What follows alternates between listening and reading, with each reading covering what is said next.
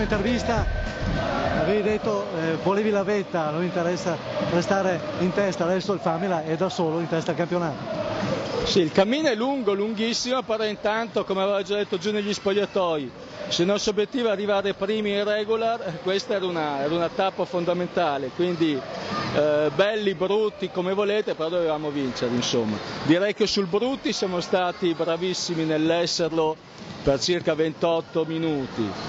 Eh, strano perché comunque le ragazze sono giocatrici esperte, però sembravano invece una squadra di ragazze che per la prima volta si trovavano in vetta, hanno giocato col freno a mano tirato e poco aggressive, sia in difesa che in attacco e abbiamo subito quindi il gioco di Umbertide.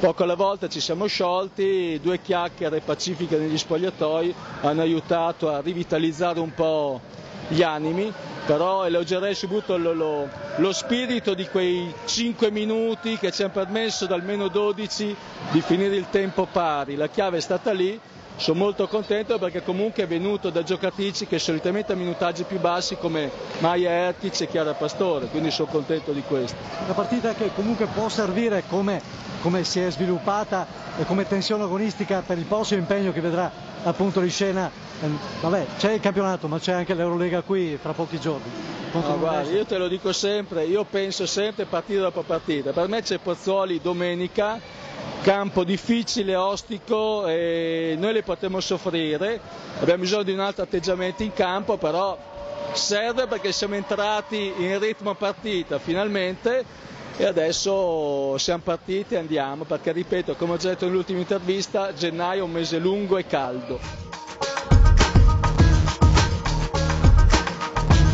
Allora, Corso si annunciava una partita bella, spettacolare, ha rispettato i pronostici no? per quanto riguarda il tasso di spettacolarizzazione, ovviamente non i vostri pronostici o auspici.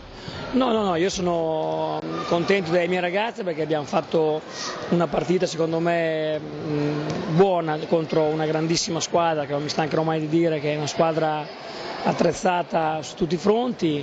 Eh, noi chiaramente abbiamo un mix di giocatrici di esperienza, due e molte giovani e siamo anche senza una straniera in questo momento, secondo me hanno, le giovani hanno dimostrato di fare un'ottima, un'ottima partita e anche chiaramente Bardini e Zara anche acciaccate sanno giocare veramente una buona placanza, quindi sono stato contento, ovviamente adesso stiamo già pensando a Priolo, però è stata un'ottima partita contro una super squadra. Noi vogliamo stare in alto il più possibile, però sappiamo che la nostra squadra è un progetto a parte due giocatrici esperte, non è una squadra costruita come Schio e Tarno per vincere. Insomma, di questo Schio, adesso che l'ha incontrato, Schio di quest'anno, che idea si è fatto?